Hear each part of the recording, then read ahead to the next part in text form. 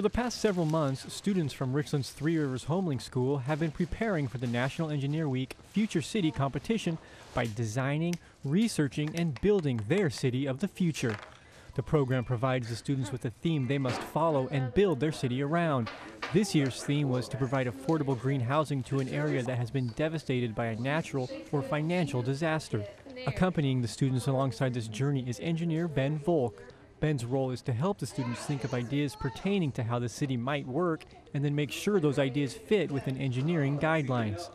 Easier said than done when you realize these eager minds are building their interpretations of a city 150 to 200 years in the future. I tell them, you know, think about when Lewis and Clark came through here 200 years ago, they wouldn't have imagined any kind of roads or airplanes or, you know, any uh, cell phones or any of the conveniences that we have today.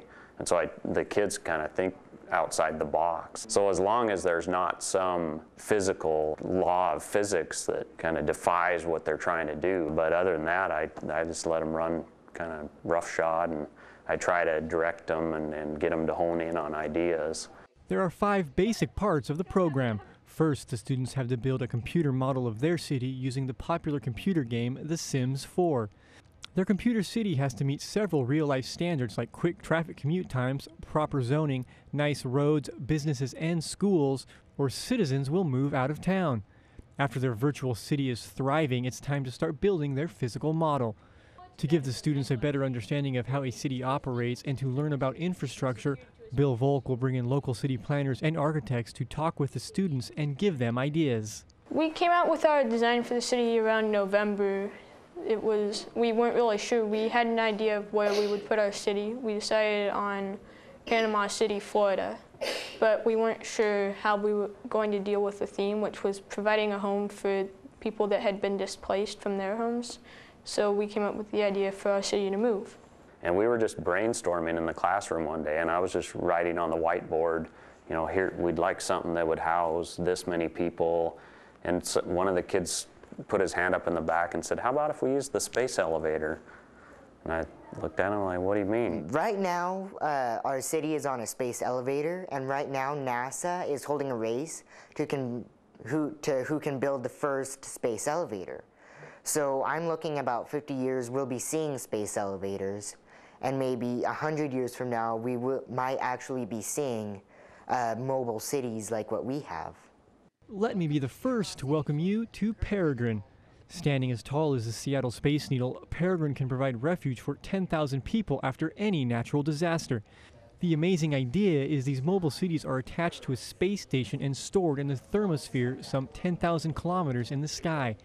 After a disaster decimates an area, a space elevator will pull Peregrine to that location in a matter of minutes. The inverted pyramid shape of Peregrine allows the city to take up a modest piece of land, allowing a devastated city to rebuild around it.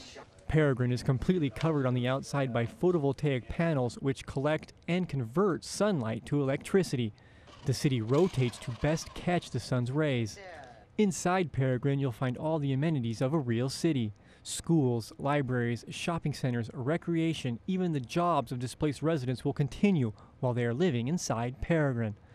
The amazing ideas of these students not only impressed their engineering mentor, but the judges at the regional competition.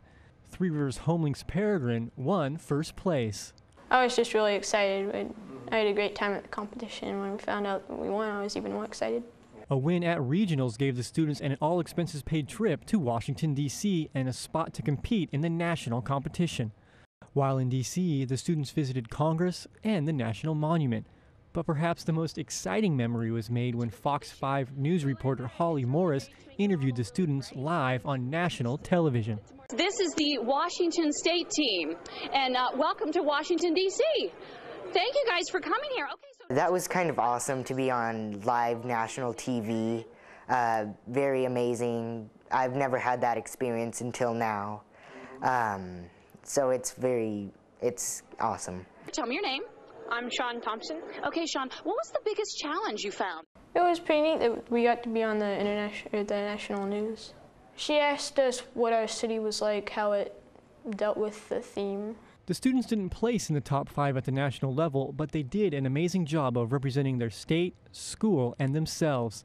The students learned values including problem solving and teamwork, and they fostered skills including research, oral and written presentation, and practical applications for their math and science skills. I think it's a really good way for kids to be introduced to engineering and math.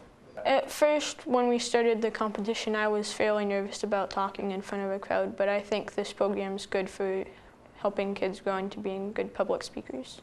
And I think it's a skill no matter, even if they don't go into engineering, even if they go into business or you know, filmmaking or whatever it is, those public speaking skills will help them in the future.